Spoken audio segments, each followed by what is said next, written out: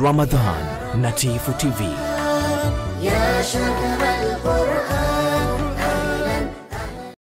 Karibu mpenzi mtazamaji wa Tifu TV, kama ndio kwanza unafungua channel yako, tafadhali subscribe, like, comment na share video hii. Serikali ilipeleka mswada wa mabadiliko ya sheria ya tume ya uchaguzi, maana tume ya uchaguzi inaongozwa na sheria, sheria namba nne, ambayo sheria ile ya mwaka elfu mbili na kumi na nane kifungu cha themanini na mbili juu akaisome. Sheria ile ilisema kwamba tutakuwa na kura ya mapema. Sheria ile ikaelezea kwamba kura ya mapema nani na nani watahusika kwenye kura ile. Na hapa cha kusikitika, wenzetu wanakimbia kushiriki barazani, na hii nongo yao. Tulipomaliza uchaguzi, uchaguzi wa marejeo wakasusa kuingia baradhani. Sasa na chombo cha kutunga sheria, sisi hapa tunapata sheria, na leo kwa kuwa Justa mwanasheria, nitamwambia ikatae hii sheria. Sheria ilipelekwa barazani, namtajia tena sheria namba nne ya mwaka elfu mbili na kumi na nane kifungu cha themanini na mbili. Sheria hii ikaelezea mchakato wa kura ya mapema, tukasema vikosi vya ulinzi na usalama vitapiga kura mapema kwa lengo la kupiga kura mapema ili waweze kusimamia uchaguzi vizuri kwa kuhakikisha amani na utulivu na kuwepo. Tumezoea uchaguzi, tukipiga kura moja, miongoni mwa wapiga kura ni hivi vyombo vyetu, wanakuwa na wakati mgumu, wakati huo huo watimize haki yao ya kikatiba na kisheria, wakapiga kura, wakati huo huo wasimamia ulinzi. Sasa kama sheria hii sasa hivi wanadai iondoshwe, rais haiwezi kuiondosha kijenyeji lazima tukae tena kama wadau wa uchaguzi, tuipitie, tuwe na mchakato, tutoe maoni yetu, tuandae document, tupeleke serikalini, serikalini wapeleke baraza la wawakilishi. Chombo kinachoweza kuibadilisha hii sheria kuondosha sio rais, ni baraza la wawakilishi, kwa sababu ndio muhimili ambapo kisheria unatunga sheria. Kwa maana wenzetu warudi kwenye sheria, wasilazimishe vitu ambavyo rais kama rais hawezi kuvitekeleza, viko above the law, viko juu ya sheria.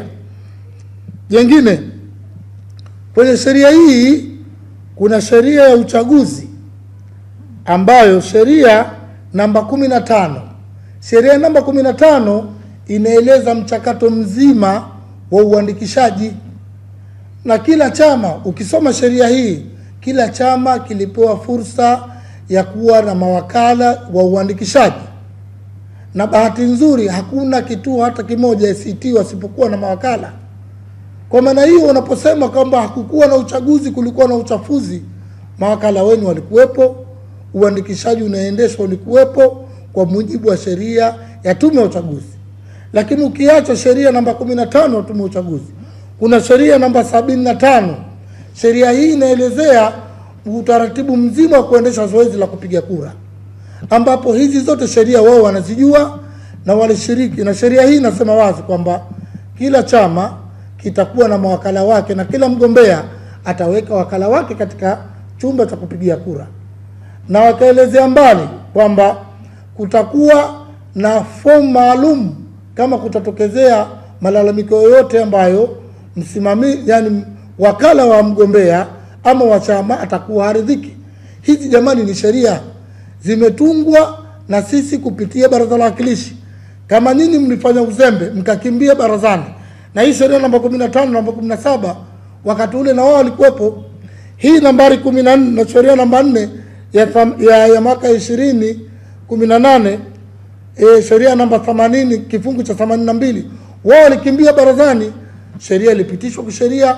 Sasa vyombo vya dola kusimamia sheria ni kosa, lakini sheria hii ya uchaguzi ilisema wazi kwamba ni marufuku wananchi. Ile sheria namba kumi na nne siku ile ilikuwa ni special siku ya vyombo vya ulinzi wa usalama. Nyinyi waandishi ni mashahidi, jamii ni mashahidi. Wao walitoka hadharani wakahamasisha watu wao, siku ambayo inatakiwa wapige kura, vyombo vya ulinzi na usalama wende na wao wakapige kura. Kwa maana hiyo, wao ndio wanasababisha hayo wanasema machafuko, watu wao kupigwa. Wao walichangia viongozi wao kwa kiasi kikubwa, na bahati nzuri clips zipo wakihamasisha.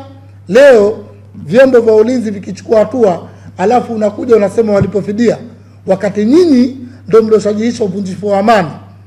Kura ya mapema tulisema wazi watapiga vyombo vya ulinzi na usalama, lakini baadaye tulipokuwa tunaangalia sheria namba sabini na tano ya kura imeelezea mchakato mzima wa kura. Wao tena waliwa- waliwashajiisha wanachama wao. Wasiondoke kwenye vituo, walinde kura, wakati sheria hii imetaja wazi kabisa kuna mawakala wa kutosha katika kila chumba, na kama kulikuwa kuna vyumba kumi katika kituo, basi kila chumba kulikuwa na wakala wa ACT wai wafanye fujo, ili mtarajia kufanya fujo kuharibu uchaguzi ama kuharibu zoezi la kuhesabu kura na kutangaza matokeo, alafu vyombo vya ulinzi na usalama vikutuzameni.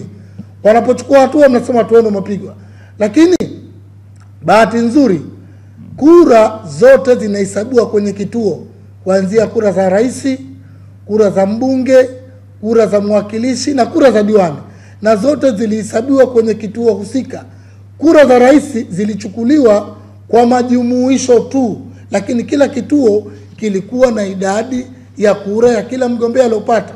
Pana haja gani ya kufanya fujo? Kura za wabunge na wawakilishi pale pale zilibandikwa na walipewa, lakini wao walishajiisha watu wafanye fujo. Baada ya fujo, sasa vyombo vya ulinzi kutuliza hali, wanazunguka wanaenda kumwambia rais awalipe fidia. Fidia gani walipe, ambao wao ndo walichangia kufanya fujo hizo? Lakini haya, tuangalie moja katika sababu ya hili. Bwana Ismail Chisaladu akasema, akanitaka mimi nitoe ushahidi wa waathirika wa Chama cha Mapinduzi wa uchaguzi ishirini ishirini. Ukiacha askari waliouawa Bopwe na maeneo mengine, askari wa KVZ, askari wa jeshi la polisi na kumpiga askari jeshi la wananchi na kukimbia na silaha, hili hakuliona, lakini labda nimtajie tu matukio ya kijamii. Juma Abdallah Juma kakatiwa ng'ombe wake wasiopungua wanane, wamekatwa miguu wamekatwa mikia na nampa anwani shehia ya Wingwi Mapofu, ende kesi hii ipo katika kituo cha polisi Micheweni. Lakini kulikuwa kuna bwana Ali Hamadi Salehe kachomua nyumba yake imechoma moto, shehia ya Tumbe Shumba Vyamboni. Lakini kulikuwa kuna bwana Sale Rashid Sale kachomua nyumba yake moto Tumbe shehia ya Shumba Vyamboni. Lakini kulikuwa kuna Bi- Biriziki Sleman Hamisi kachomoa nyumba yake moto shehia ya, ya, ya, ya Majenzi. Lakini kulikuwa kuna bwana Saidi Yusuf Hamadi kapigwa kwa mapanga, yani kavunjwa bega kabisa, mapanga kapigwa. Hili tukio kaigua na simu pamoja na nguo taslimu. Lakini kulikuwa na kada mwingine wa CCM anaitwa Hamisi Nyange Makame umaarufu Profesa Gogo, kijiji cha Kangagani, shehia ya Kangagani, wilaya ya Wete, kijiji cha Kangagani, kapigwa panga la kichwa msikitini wakati anafanya ibada. Lakini pia kulikuwa na mwenyekiti mstaafu wa wilaya wilaya ya Wete, bwana anaitwa Kombo Hamadi Yusuf. Hawa walipigwa mapanga kwa pamoja na, na, na, na Profesa Gogo, walikuwa msikitini, kapigwa panga la bega. Lakini kulikuwa kuna bwana Bakari Al Hassan na hivyo hivyo kijiji cha Kangagani kapigwa msikitini. Matukio yako mingi, lakini kulikuwa kuna mtu anaitwa Masudi Dadi Hamisi, mzee wa miaka sitini na nane alipigwa. Lakini kulikuwa kuna mzee anaitwa Juma Dadi Hamisi alichomoa nyumba yake moto shehia ya Shumba Vyamboni, kijiji cha Mundo. Lakini kulikuwa kuna bwana Ali Mwalimu Ali, katibu wa CCM tawila ta, tawi alichomoa shehia ya Shumba Vyamboni.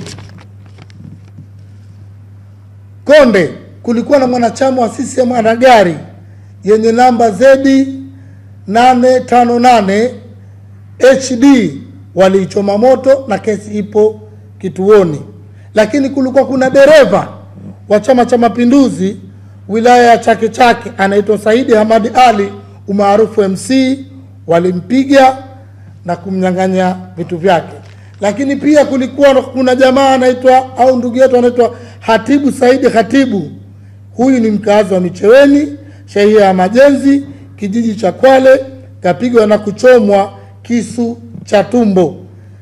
Kesi iko kituoni, iko Micheweni, iko pale kituo cha polisi Wete.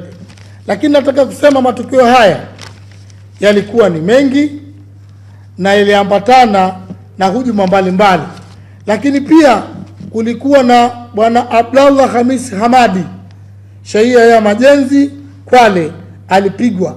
Kulikuwa na mama mjamzito anaitwa Raya Hamis Hamadi, mama mjamzito alipigwa Majenzi Kwale. Kulikuwa na bwana Juma Hatibu Rajabu naibu sheha Majenzi alipigwa na kuumia vibaya na kulazwa hospitali. Na nataka nimwambie rafiki yangu Jusa, na akitaka clips, bahati nzuri matukio haya kipindi kile tuliyarekodi, waliotoa maelezo, watu wako wengi sana, nimemtajia kwa machache, na hawa mpaka akitaka file namba za kesi zipo, tutampa na vituo vyake. Sasa nachotaka kuambia kwamba ndugu zetu wa ACT hoja yao ya tume, nimeitaja sheria hapa ya tume Share bila ya kusahau komenti yako ni muhimu sana. TTV TV tupo kijamii zaidi. Ahsanteni na kwaherini.